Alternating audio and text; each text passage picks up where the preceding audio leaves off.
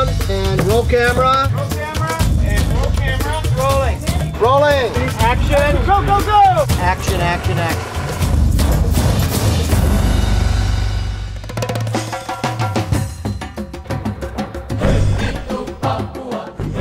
We're here in Raja Ampat, a group of islands off of West Papua. It's quite remote. It's very, very beautiful above water as well as underwater. Challenges faced in terms of filmmaking are quite extreme. And we added to that by bringing along a beast of a camera. The quality of the IMAX 1570 format is the highest quality, bar none problem that we've had shooting with the Solido camera and moving it around and the complications of filming in a third world country like this is some of these locations that we want to work in are really arduous.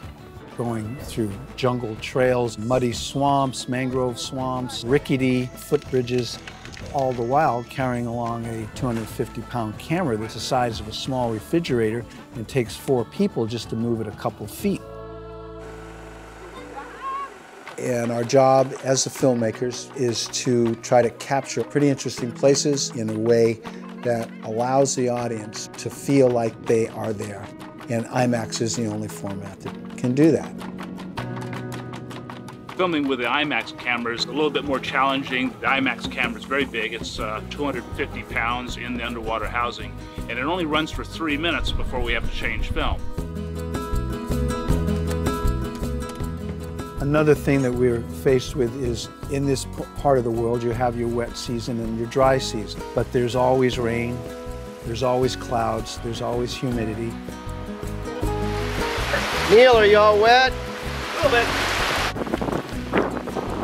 And I don't know that I've ever been at a place where the weather changes so fast. One of the aspects of our shooting is aerial photography. It's a very important part of, of every film that we make. I'm the aerial cinematographer, so my job is to go out to these amazing places like Wayag and shoot the most amazing scenery that I've ever seen. So this is a SpaceCam with the IMAX camera fitted in. It's a beautiful rig. It's it's 15 perf, 65 millimeter film.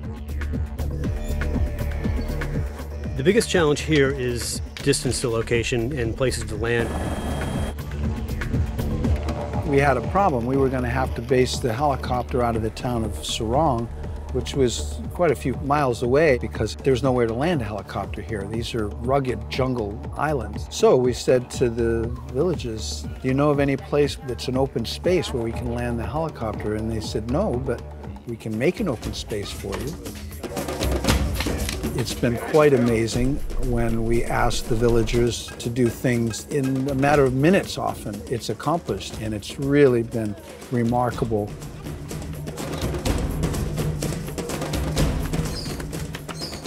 At the end of the day, you, you may have faced some extreme frustrations, but it's a real sense of accomplishment.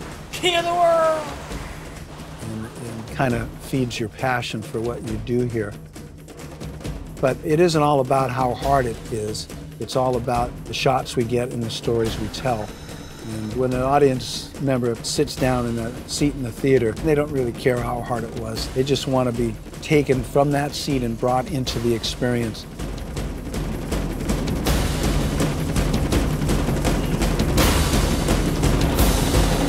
Cut.